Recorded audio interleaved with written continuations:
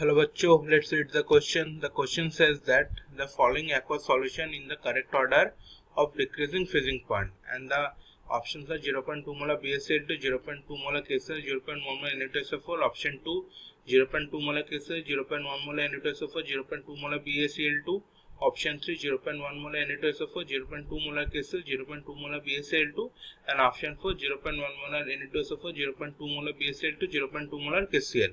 What is the key concept here? Key concept here is the Van 't Hoff factor. Key concept here is the Van 't Hoff factor I. I is equal to number of moles after association or dissociation divided by initial number of moles according to Raoult's law, according to Raoult's law, Raoult's law, delta TF is equal to I into KF into M.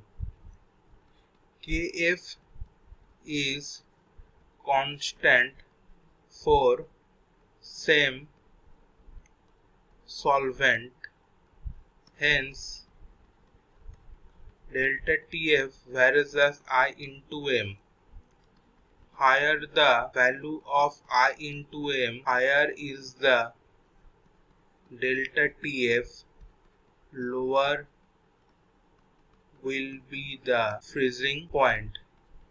For BaCl2, I into M is equal to, I value for BaCl2 is 3 and M value is given as 0.2 that is 0.6.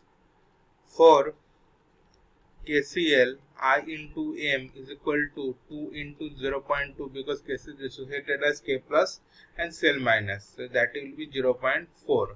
And uh, for Na2SO4, for Na2SO4, I into M is equal to 3 into 0.1. So that is 0.3. Here, I into M value is higher 4 or highest 4 BaCl2 so it will have lowest freezing point.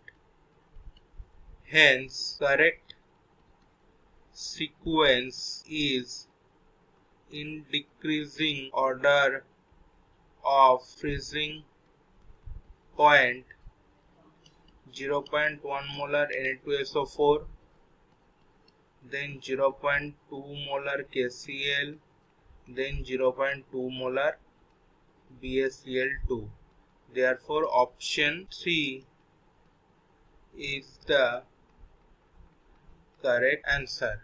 I hope this will answer your question. Thank you